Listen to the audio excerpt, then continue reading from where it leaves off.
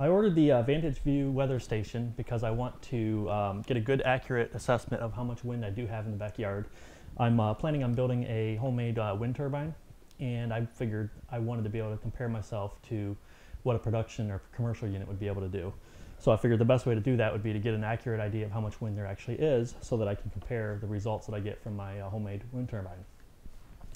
I picked this one up off uh, Amazon. I'll put the link on my website so you can order that if you're interested in doing the same. The reason I picked this model is it's about, it's a little more expensive than most of your uh, residential units. However, it's the only one that seemed to have really good, accurate, and reliable data. You can go even more expensive, but I felt like this was about the minimum you could spend and still have a really good, reliable set of data. Okay, here I'm gonna unpack the box. We'll see what we get included, and I'm gonna go through the basic setup, and then I will finish with showing you some of the results and how it's been working for my installation.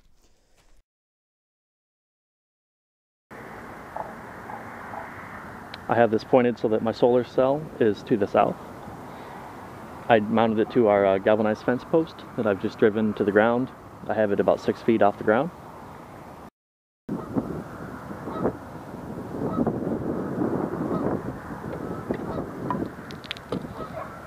There might be a delay in that, or my, um, oh, there we're picking up, they're showing rain. Yep, okay. So my rain sensor is also working I'm still figuring out how this works a little bit, but uh, we've had it up for two days now. And if we go to the main page,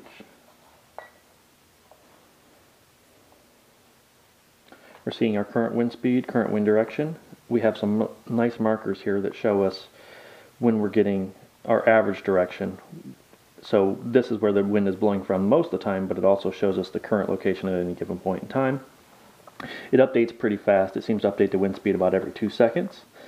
Um, we have a chart down here at the bottom that shows um, several things. You can basically, right now if it's set for the last 25 hours, that's adjustable. You can set it for the last 25 hours, last 25 days, last 25 months. Um, here is our wind speed for the last 25 hours. You can see where I set the sensor array up last night. And then overnight it was a very still night. And then as morning came, the wind picked back up.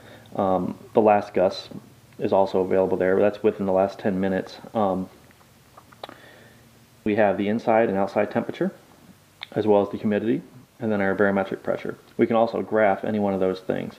So if we wanted to graph the humidity for the last 25 hours, that would be right there. Barometric pressure for the last 25 hours.